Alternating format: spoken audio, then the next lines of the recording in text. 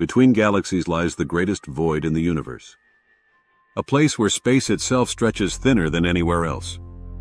No stars. No planets. Just darkness and silence. But it isn't truly empty. Every cubic meter still holds a few stray atoms, ghostly trails of hydrogen drifting through an ocean of dark matter, an invisible web that binds the entire universe together. In these vast intergalactic deserts, light can travel for billions of years without ever touching a single star.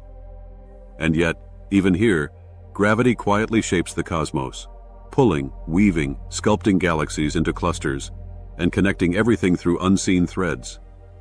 What lies between galaxies isn't nothingness. It's the silent framework of existence, the space between all things, the vast stage on which every galaxy, star, and life form exists. If you enjoy exploring the mysteries of space and existence, like this video and subscribe.